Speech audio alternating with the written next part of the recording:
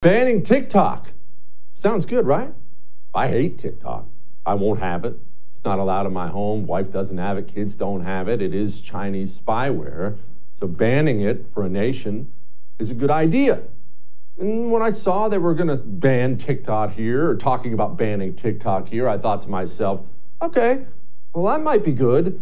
And then something started happening out there. I started to see a lot of bipartisan support for it. Now, let me ask you something. I don't know how old you happen to be. I'm 41 years old.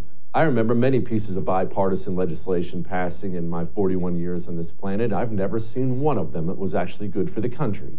So I started getting nervous. Then I started paying attention to the things Greg Price was saying out there, and now I'm officially mega nervous. Joining me now, my buddy Greg Price, Communications Director for the State Freedom Caucus Network. Hey, Greg, why don't you want to ban TikTok? What are you, some kind of communist? Thanks for having me, Jesse. Um, no, the thing about it is you have to look at these things through the sense of the ulterior motives people may have for wanting to ban this app.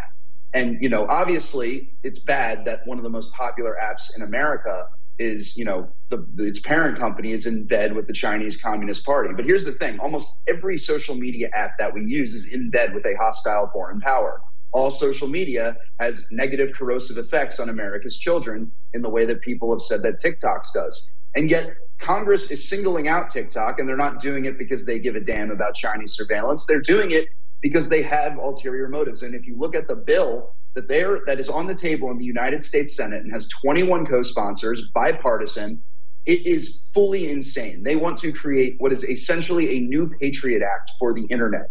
What it does is it gives the Commerce Department the power to appoint a secretary that basically has a broad mandate to go after anybody doing something on the internet that they deem is a national security threat.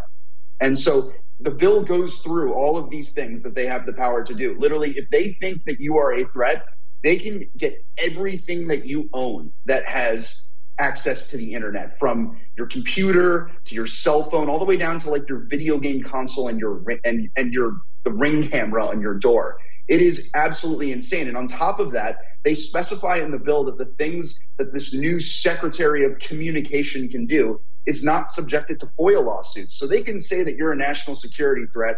They can put you in jail and seize your property, and you're not allowed to even know why. The bill is insane. And like I said, it has 21 co sponsors including, you know, and it basically runs the table of the worst of the worst of the DC Uniparty, everybody from Thom Tillis to Mark Warner, who's the person who wrote it.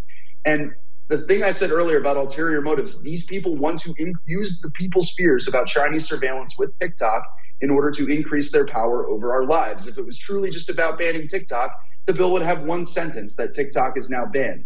And on the flip side, you have to look at this from the sense also of how Meta has spent millions and millions of dollars over the last year lobbying Congress to ban TikTok.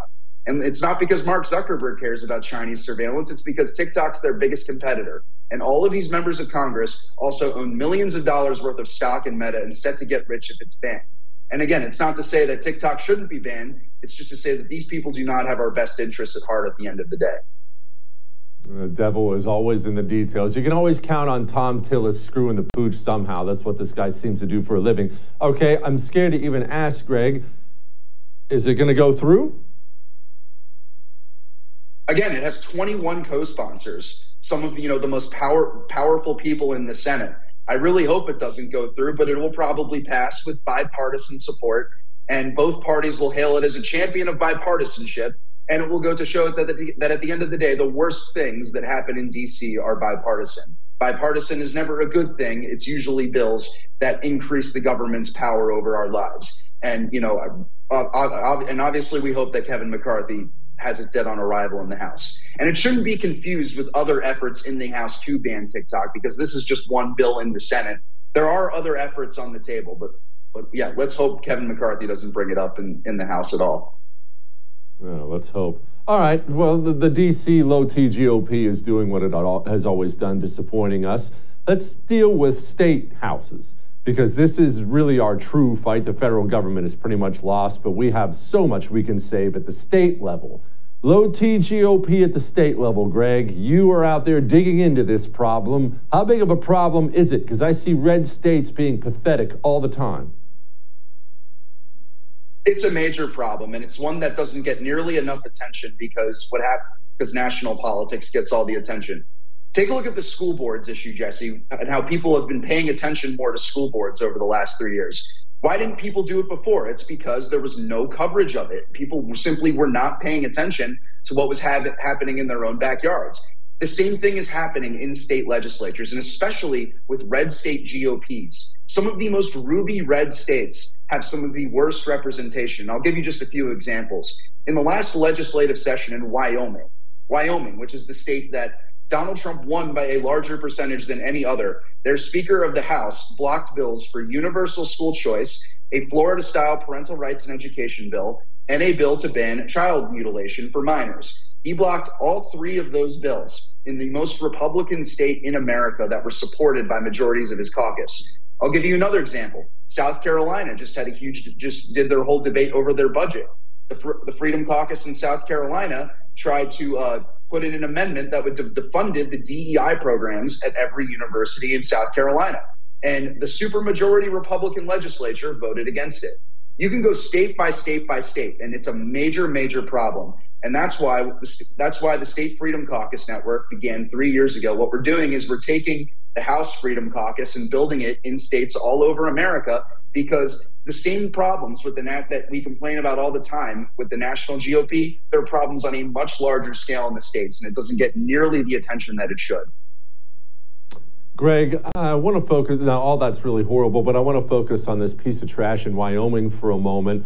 When is he up for reelection, and what do you need me to do to make sure that guy's political career is over? Raise your voice about it, Jesse. That's all. It's the you know it's the same that they coincide with the federal elections in in uh, I'm pretty sure in Wyoming. I could be wrong, but I think okay. I think that's what it is. And so, yeah, we need to ensure okay. this guy, at the very least, is not the speaker again. It's it's truly terrible. And you know, the, the, the other point I want to make is like the stuff that comes out of your state legislatures affects your life in a much greater way than things that come out of DC on any given day.